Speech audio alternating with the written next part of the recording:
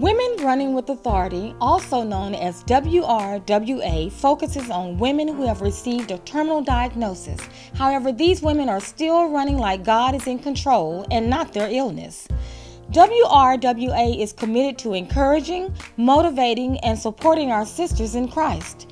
We help relieve some of the financial pressures associated with rising medical bills or simply creating a fun environment where these women are not consumed by their illness or their medical treatments.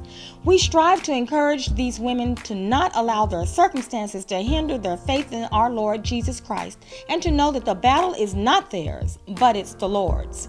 Each recipient's needs are assessed and we tailor our help based on their specific requirements. Our goal and mission is to let them know that they are not alone.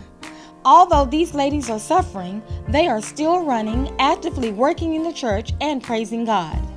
WRWA sponsors a 5K walk run in honor of the recipients each year. WRWA supports them financially, goes grocery shopping, makes visits, and provides transportation.